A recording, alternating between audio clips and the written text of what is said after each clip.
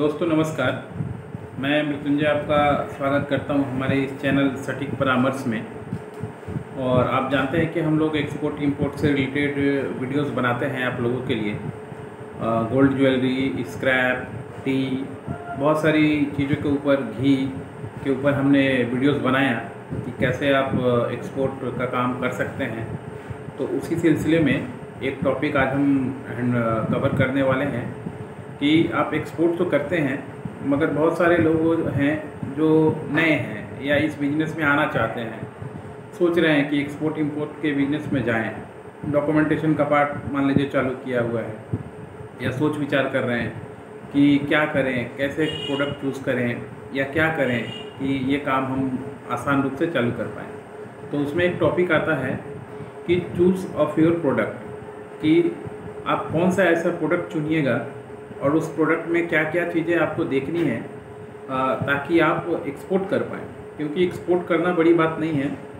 Choosing right product for the right market यानी सही वस्तु, सही बाज़ार के लिए उसका चयन करना बहुत ज़रूरी है। क्योंकि मार्केट बहुत बड़ा है और आपको जो एक्सपोर्ट का काम करना है तो थोड़ा लॉन्ग टर्म सोच के काम करना है। ऐसी वस्तुओं का चुनाव करना है, जो लंबे समय तक आपको बाज़ार में टिका पाए।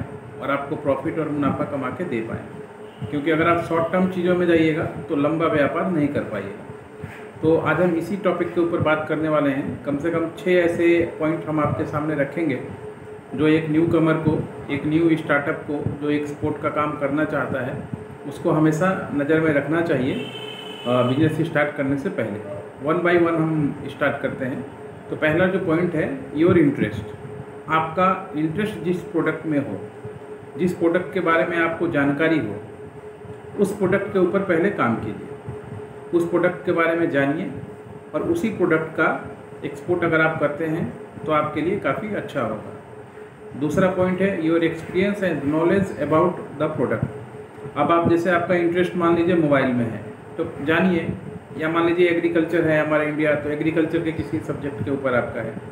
तो आप पहले पता कीजिए कि वो प्रोडक्ट क्या है कहाँ पे वो सबसे ज़्यादा हमारे इंडिया में मिलता है? क्या मार्जिन कॉस्ट आता है?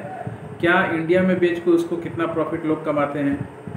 बाहर आप बेचिएगा तो आपको हमेशा अवेलेबल हो पाएगा कि नहीं हो पाएगा? क्या रेट पे आपको मिलेगा?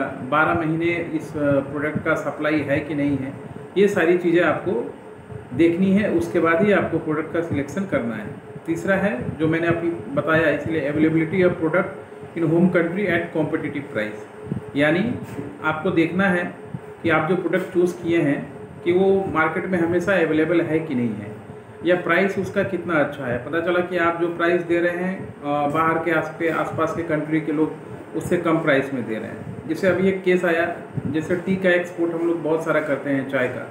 तो चाइना ने क्या किया? उस मार्केट को ख़राब करने के लिए नेपाल के थ्रू उन्होंने चाय का डंपिंग कराना चालू किया। यानी कम दाम में एकदम घटिया क्वालिटी दे के मार्केट ख़राब करने की कोशिश की। तो ये सब भी आपको नज़र पे रखना है कि बेस्ट क्वालिटी का सामान कहाँ पे मिलेगा और बेस्ट कॉम्पिटिटिव रेट आप बार्गेनिंग करके उनसे क्या ले पाइएगा? क्योंकि आपको एक जगह से ख़रीदना है और दूसरी जगह बेचना है और बीच का ही चीज़ आपको मार्जिन रखना है। तो अगर आपका सोर्सिंग अच्छा रहेगा, आपका प्रोडक्ट अच्छा रहेगा तो बिकने में कोई दिक्कत नहीं होगा। चौथा पॉइंट है दोस्तों overseas market for the product आपको सबसे पहले गवर्नमेंट की बहुत सारी वेबसाइट है अभी तो गूगल आ गया है सोशल मीडिया है स्टेटिटिक्स है, बहुत सारा चीज़ आपको पहले देखना है कि ओवरसीज़ जो कंट्री आप चूज़ कर रहे हैं। पहले तो आपको सिलेक्शन कीजिए कि किस कंट्री में आपको काम करना है और वहाँ पे उस प्रोडक्ट का डिमांड कितना है, उस प्रोडक्ट का मार्केट कितना है, उस प्रोडक्ट में कितने कंपटीशन है और पहले से कितने कंट्री के लोग काम कर रहे हैं।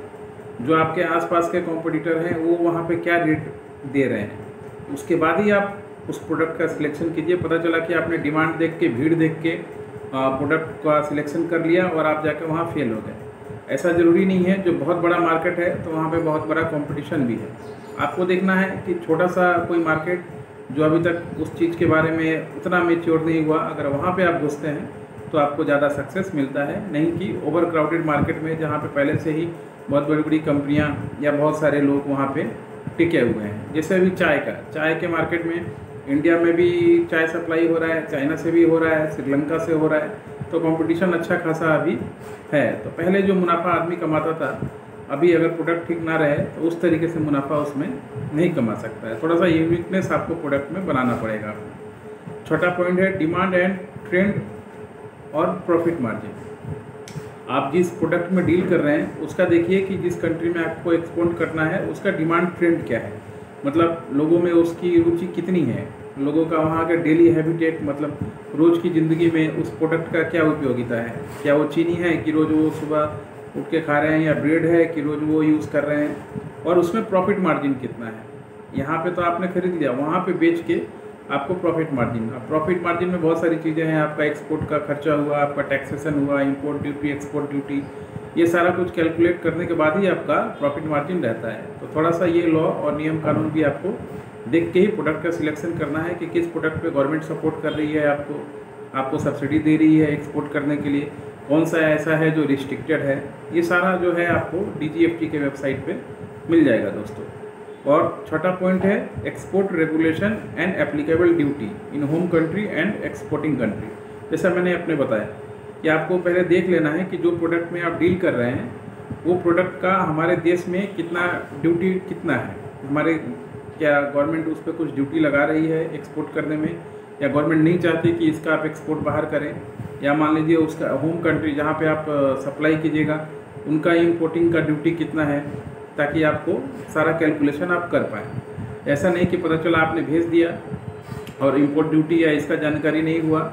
उसके बाद वहाँ पे माल सीज हो गया, आपका बायर आपका सामान नहीं ले रहा है तो वहाँ पे आपको लॉस हो जाएगा, वहीं पे आपको ऑप्शन करना पड़ेगा। जैसे आपने देखा होगा, कोलकाता, दिल्ली, मुंबई, ऐसे बहुत जगह एयरपोर्ट पे ऑप्शन होता है, या सी पोर्ट पर ऑप्शन होता है तो उसका कारण यही है। लोगों को पहले आइडिया नहीं होता है बुक कर देते हैं इम्पोर्ट एक्सपोर्ट ड्यूटी का, या गवर्नमेंट का जो ड्यूटी है होम ड्यूटी उसका, और उसके बाद फिर देखते हैं कि माल मंगा के उनको तो और महँगा पड़ गया। तो वहीं पे छोड़ देते हैं, फिर लास्ट में उसका ऑप्शन ही होता है। इस तरीके से selecting for the product export potential market अगर आप इस तरीके से काम करते हैं तो आपके लिए बहुत ही अच्छा है आ, काम आप कर पाइएगा।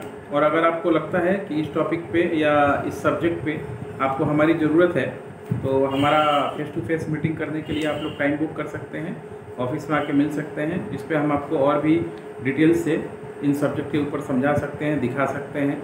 कैसे लीड निकलता है, कैसे मार्केट होता है, कैसे प्रोडक्ट चूज़ किया जाता है, कहाँ से प्रोडक्ट सिलेक्शन कीजिएगा सोर्सिंग कीजिएगा इन सारे सब्जेक्ट के ऊपर। वीडियो थोड़ा लंबा हुआ, मगर काम का चीज़ हमेशा लंबा ही होता है। अगर आप एक्सपोर्ट की दुनिया में आना चाहते हैं तो आप हमसे कॉन्टैक्ट कर सकते हैं नेक्स्ट सर्विसेज़ के लिए। हमारा नंबर नीचे डिस्क्रिप्शन में दिया रहेगा। टाइम बुक कीजिए व्हाट्सएप कीजिए। और अगर कोलकाता के हैं तो आसान है थोड़ा, आके डायरेक्ट भी हमारे ऑफ़िस में मिल सकते हैं, ताकि आपका काम हम कर पाएँ और आपको आगे लेके जा सकें। आज के लिए इतना ही दोस्तों। नमस्कार